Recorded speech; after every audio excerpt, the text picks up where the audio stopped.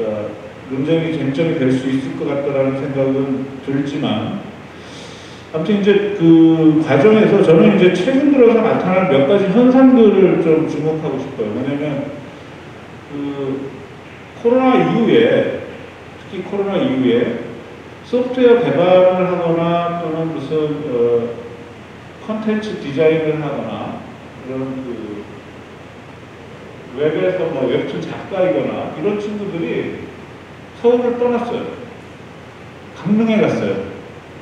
강릉에 가서 그 오피스텔이나 이런 그, 그 원룸을 얻어가지고 거기서 살기 시작했어요.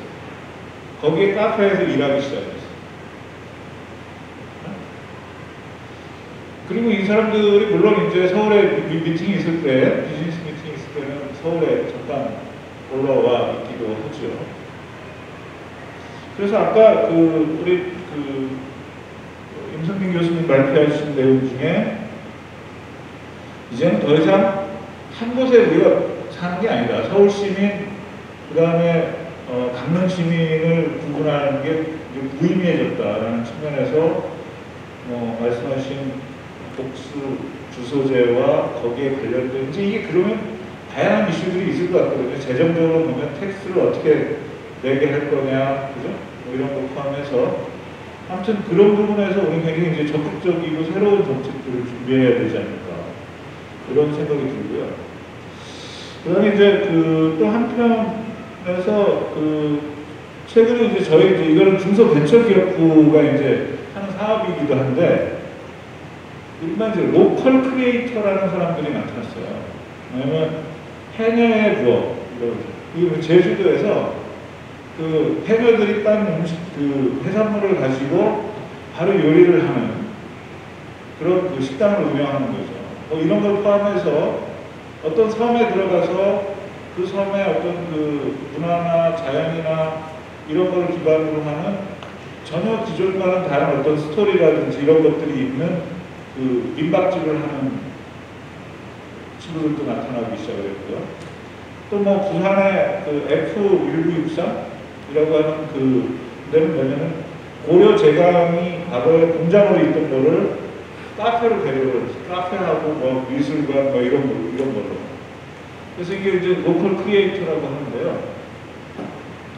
근데 이제 이것들을 나이든 시- 지금 현재 그 농촌이나 또는 시골에 있는 나이든 분들이 할 수는 없잖아요. 대부분.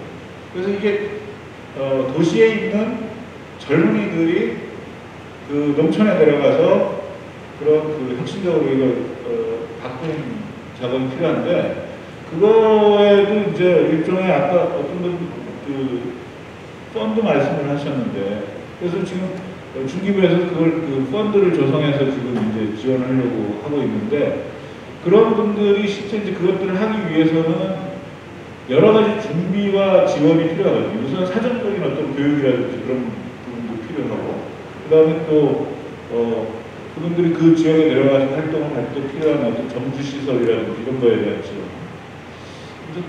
어, 오늘 어, 우리가 그 어떤 그 논의의 지평을 도시에서 도시와 농촌 내지는 서울과 지방이라고 넓히면서 훨씬 더 서울 자체도 풍부해질 수 있는 그런 아이디어를 얻을 수 있을 것 같습니다. 감사합니다. 아, 아, 저는 사실 제 부자하고 좀 많이 다르지만 그 소프트웨어 정책하고 이제 창업 쪽 기업을 하는 사람으로 봤을 때 저는 두 가지 어, 포인트를 하나 제가 느꼈어요. 하나는 우리 임 교수님 말씀하신 것 중에서 이 도시 청년 시골 파견 사업하고 그다음에 우리 서울대학교 우리 김 교수님 말씀하신 것 중에서 이 공유자원 기반의 보편적 서비스를 통해서 이거를 전부 혜택을 골고루하게 돌아오고 있다. 이게 결국은 그 잘 보면 이거는 서울시하고 뭐 경북도하고 뭐 경상도하고 상호 있다고 하시지만 이게 지속성하고 발전을 가지려면 결국은 서울에 있는 리소스를 또 일방적으로 배분하는 형태로 가서는 안 되겠다. 이런 생각을 좀 해봤어요.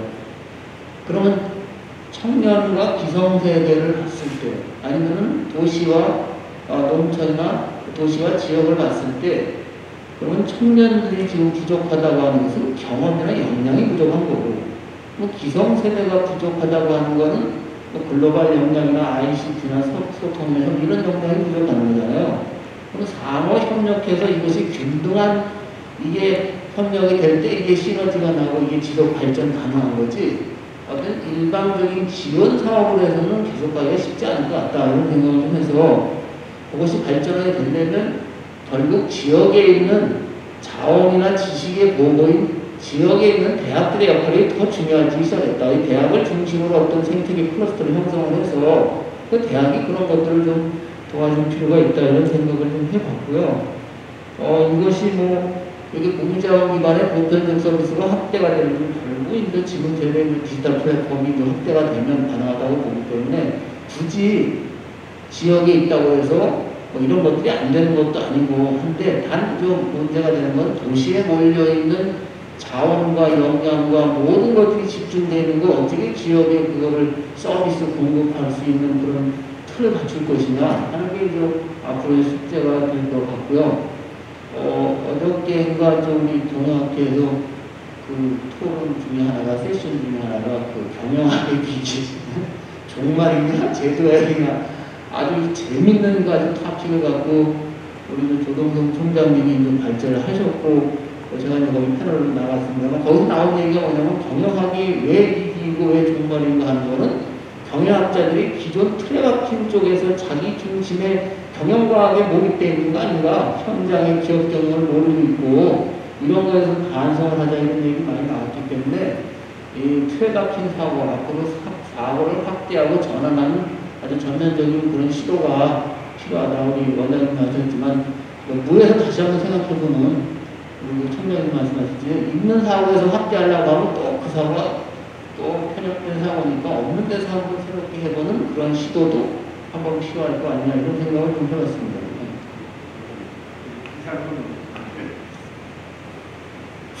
아, 예, 어, 한국기술교육대학교의 장관입니다. 마침 보니까 어, 경상도에서 오셨고 어, 전라도에서 오셨고 저희 학교는 충청도에 있습니다.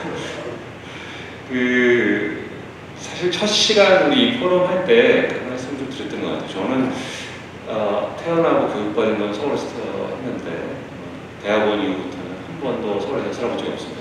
이제는 지방에서 사는 게 어, 서울에서 사는 것보다 더 넘어가기 시작했는데 이제 전 국토를 하나로 쓰고 그리고 뭐 서- 지방과 서울을 특별히 무의미하다 전적으로 동의합니다. 이제 앞으로 그렇게 돼야 되겠지만 현실적으로 아마 아까 그런 저 목포나 저 성대에서 오신 분께서 말씀하셨지만 지방에 제가 이렇게 있다 보니까 이게 서울과 완전히 다르더라고요.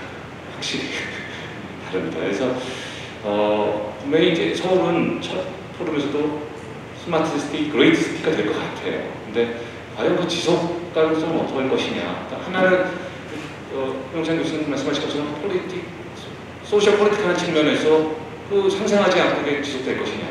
또 하나는 뭐 정경영학과도 있으니까 뭐 그 technically 또 economically 또 계속해서 다양성 없이 서울이 존재할 수 있는 이두 가지 지속성 여전히 문제가 있을 수 있을 것 같습니다. 그래서 결국 어 결국 서울이든 어디든 이 발전하기 위해서는 다양성이 필요하고 그 다양성의 시야는 우리 경쟁자일 수도 있고 추 경쟁자가 될 수도 있겠죠. 하지만 하지만 여러 군데서 씨앗이 뿌려지고 그 씨앗이 와서 배워가고 서로 경험을 공유하면서 상호 발, 경, 발전하고 경쟁하면서 더 큰 정말 하나의 공간이 되는 시혜가 아닌 서로 경쟁하면서 발전해서 하나의 공간이 되는 형태로 아마 가야 될 텐데 오늘 쉽지는 않은 것 같아요. 여러 가지로 고민할 것들이 많이 있는 것 같고 오늘 나온 것 중에 하나가 정치적인 얘기들 또 어, 에너지 문제, 관광 얘기까지 다 해주셔서 굉장히 재밌게 들었고요. 저는 그 지방에 있는 뭐 썩 좋은 말은 아닌데 지방이 그러니까 서울이 아닌 곳에 있는 대학의 교수로서 가장 이제 아쉽게 느끼는 게 아까 이동 교수께서 말씀하셨는데 우리 학생들이 이 경험이나 역량이 부족해요. 근데 그것은 어, 열심히 해서 되는 게 아니라 뭔가 그런 환경에 노출이 돼야 되지만 얻을 수 있는 그런 역량들이죠. 그런 역량들을 저희가 정말 노력을 하는데 사람들 불러들이기도 하고 여러 가지 해봤습니다. 근데 잘안 습득이 되는 것 같아요. 결국 그 환경에 노출돼서 거기서부터 직접 일을 하면서 배워야 되는데 그런 것들을 하기 위해서 저희가 우선 개인적으로 그런 처장을 맡기도 했었어요. 현장 실습, 창업 이런 계속 맡아왔는데 현장 실습을 서울에 보내고 싶어도요. 숙소 문제가 그래요. 그래서 안 가요. 창업도 서울의 생태계가 사실 다 있죠. 서울의 주변 생태계는 창업의 생태계는 서울에 있습니다.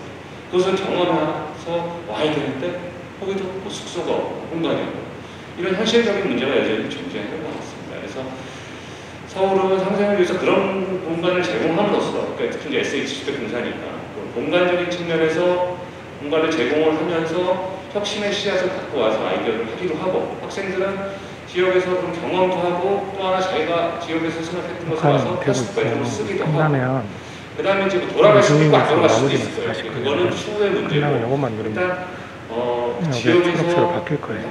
끝나고 그런 누르고 그런 것들의 어, 핵심이 될 수 있는 대학 학생들부터 그냥 그냥 조금 이렇게 닫아버리고 그런 것들 노출시킬 수 있는 그런 방안이 좀 반나만 좀 좋겠다. 한번 누르면 되는데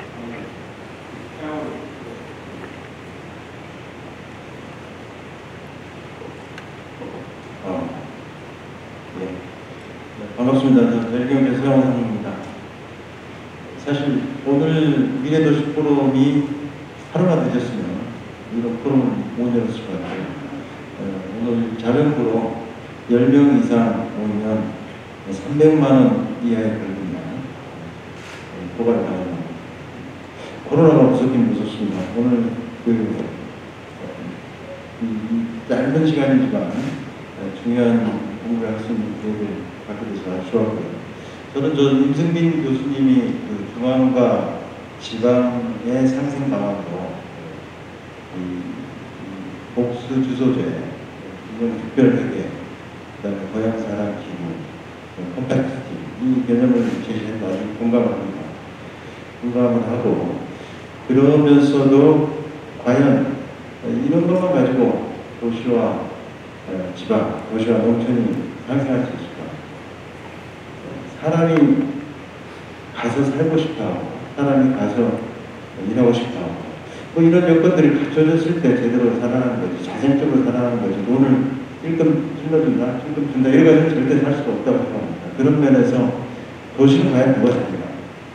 결국 스스로 예를 들어서 농산물을 가지고 창업을 해서 농업 기업으로 발전하든지 그게 안 된다면 외부에 에, 일자리를 만드는 기업들이 들어가서 공장을 가동하고 일자리를 만들면서 어, 주변에 에, 병원도 들어오게 하고 백화점도 들어오게 하면서 도시가 그러면서 생성이 됐던 것처럼 농촌도 그랬을 때 활성화되는 거 아닌가 그러려면 뭘 해야 되나 결국은 어, 규제 하나 한번 해주고 어, 필요하다면 도시하고 어, 관점을 어, 맞춰서 어, 농촌에서도 기업들이 상, 살아날 수 있도록 해줘야 되는 거 아닙니까?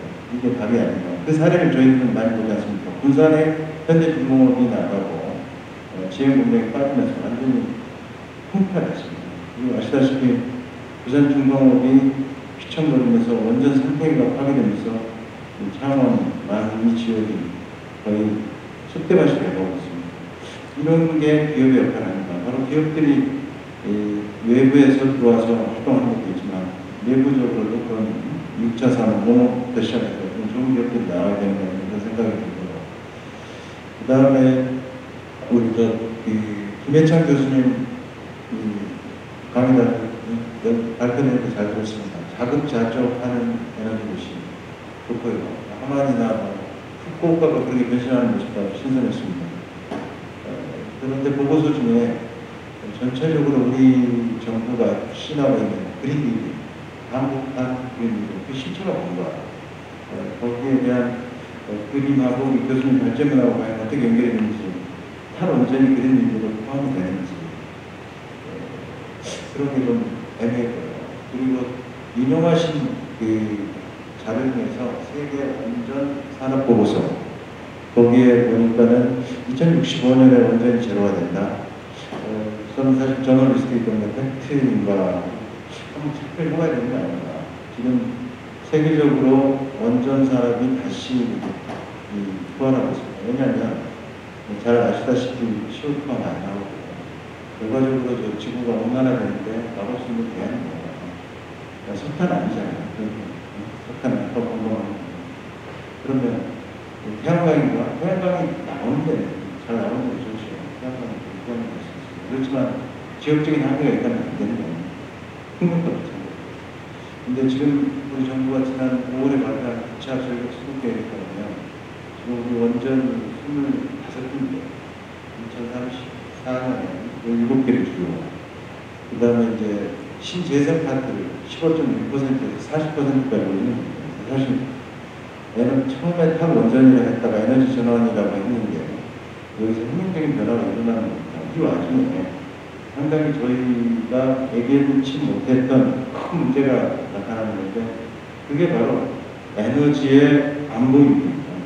다시 말씀드려서 우리가 원전을 원전 생태계를 어, 약화시키고 탈원전 에너지 전환 그 개념을 하고 있는 사이에 중국과 러시아가 엄청난 속도로 원전 투자를 하고 있습니다. 그리고 한반도하고 같은 위상에 있는 에, 우리 중국 동쪽에 지금 이미 10개의 원전이 가동되고 있고요.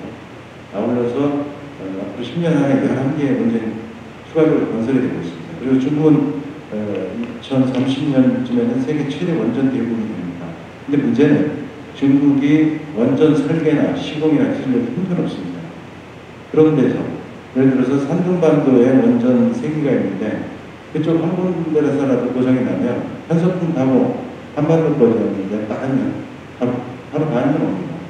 사실 우리 내부의 원전 안전 문제, 우리는 사실 에, 세계 최고의 기술 수준을 갖고 있습니다.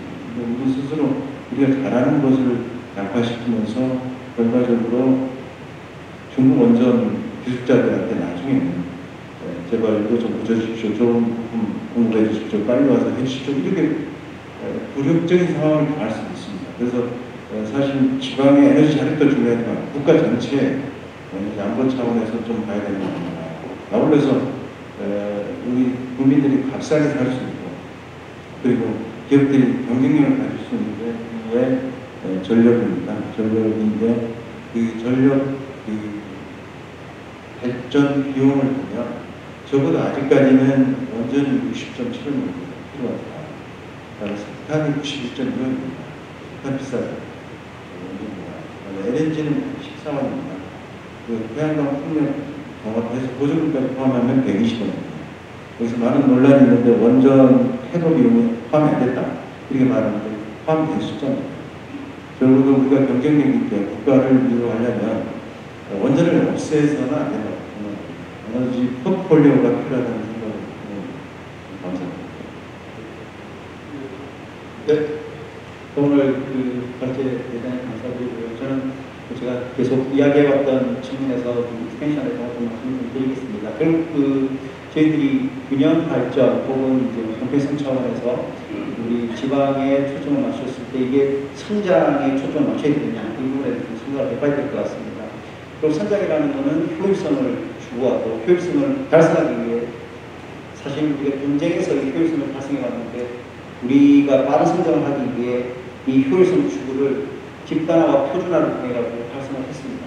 근데 이게 결국은 어떻게 됐냐면 이게 표준화를 대중화하는 형태로 해서 도시 성장이 비슷한 형태로 이루어지게 되면서 이 지방의 어, 지방이 가질 특색들이 다 사라지게 되는 그런 과정들을 지금까지 거쳐왔거든요.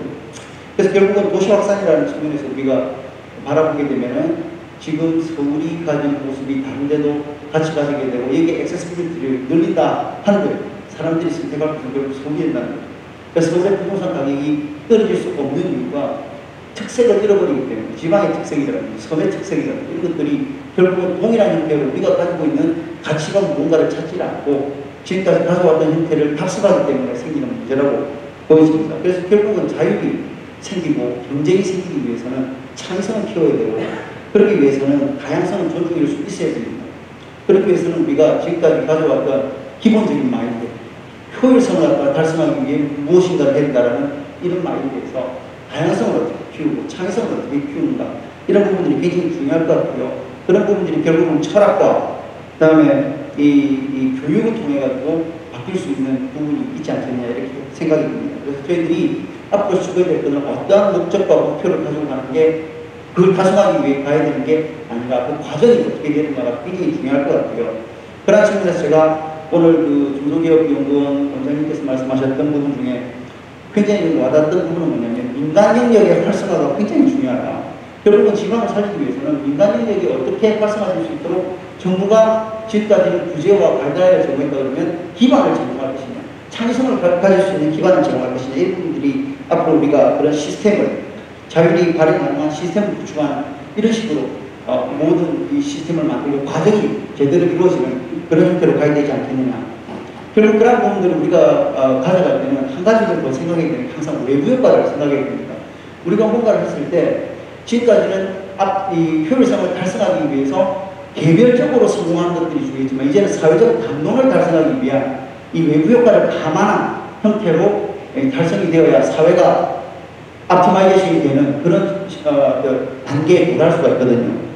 그래서 이 지금까지는 우리가 뭐 기후변화 대응이든 뭐든 이런 외부 효과를 역할에 맞춰서 사회적인 담론으로 달성할 수 있는 것들을 시장에다가 내재화할 수 있는 이 저탄소 녹색 성장의 기본적인 개념입니다. 네, 이런 부분들이 될 수 있게끔 저희들이 더 많은 연구와 그와 관련되어 있는 담론들을 가져가야 지방의 혹은 성, 농촌, 산촌 다 같이 살아갈 수 있는 게 되고 방금 말씀하셨던 섬이 우리나라를 지키는 그런 내재화된 컨셉이 우리에게 들어와야 이런 부분들을 지방의 특색이 살아갈 수 있는 형태로 할 수 있다고 말씀드리겠습니다. 감사합니다. 네, 감사합니다. 그 이제 그 시간이 좀 지나서 마무리해야 되는데 그래도 이 서양원 위원님께서 구체적으로 김 교수님한테 사실 김 교수님만 잠깐 한 1, 2분 정도 얘기해 주시고 그다음에 마무리 전체적인 토론을 임 대표님께서 부탁드리겠습니다. 플로 아, 혹시 질문 있으면 시간이 무거워서 그럼 뭐, 김 교수 부탁드립니다. 네, 예, 감사합니다. 어, 전체적으로 귀한 자리인 것 같고요. 어, 서양은 미국의 선생님 말씀은 사실은 별도로 해도 이게 어마어마하게 한 논란이 되는데 저는 오늘 본원 상생이라는 측면에서 이렇게 한번 생각을 해봅니다. 어, 저는 이 분야에 대해서 나한테 연구를 해봤고요. NFT 안에서 어, 미니철 보고서는 팩트가 있습니다. 확인해 보시면 되고 150페이지고 연구는 있고 작년에 전 세계에 문제는 한개 건드렸습니다. 그 전에 세개 됐습니다. 그리고 저는 이렇게 봅니다. 이번에 EU에서 있잖아요. 제가 그 그린 뉴딜에 써 있지 않습니까? 그 그린 뉴딜은 EU에서 당시가 원전 노동차로 지었거든요. 그렇지만 들어가지 못했습니다. 그리고 그것은 많이 되기가 참 힘들고요. 저는 가운데 수도권 또는 아까 섬에서 있는 분이 섬에서 나름대로 도심에 대한 피해의식 내지 억울함이 있겠죠. 제가 부산에 살고 있어요. 고리 원전요. 울산 프로젝트도 있어요. 신고리. 이런 걸 생각하면 저는 만일에 정말 제가 이렇게 방금 많이 말씀하시는데 이렇게 이야기할 수 있지 않겠습니까? 정말 안전하고 경제적이라면 저는 수도권에서 적어도 신고리 7, 8호 되듯이 그거를 유치한 것 예전에 서울대 총장님도 그랬습니다만 그걸 만드는 노력을 서울시민이나 수도권에 설득을 하는 게 참 좋을 것 같고요. 그 다음에 사용 후 행렬의 문제점도 나름 안전하고 지금 공론화가 안 돼요. 지금 있- 있었던 이 부산이라든가 경주, 울진, 영광